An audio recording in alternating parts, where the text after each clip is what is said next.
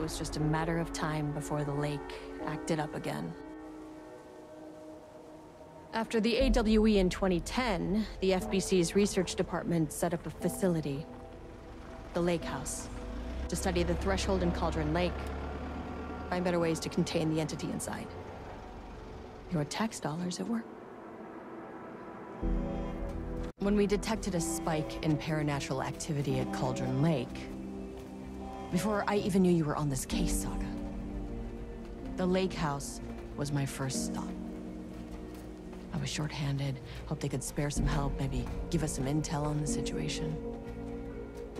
If I had any clue what was waiting for us in there, Saga, I'd have just kept on driving.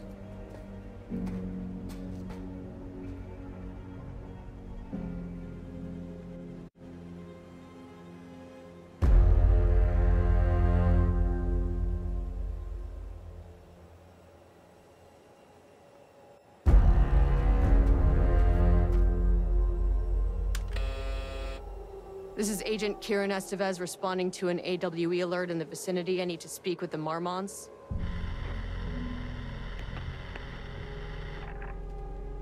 So much for the welcome wagon.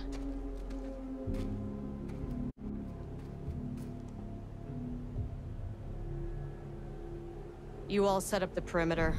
We're on the Threshold's doorstep, so keep your eyes peeled. Yes, ma'am.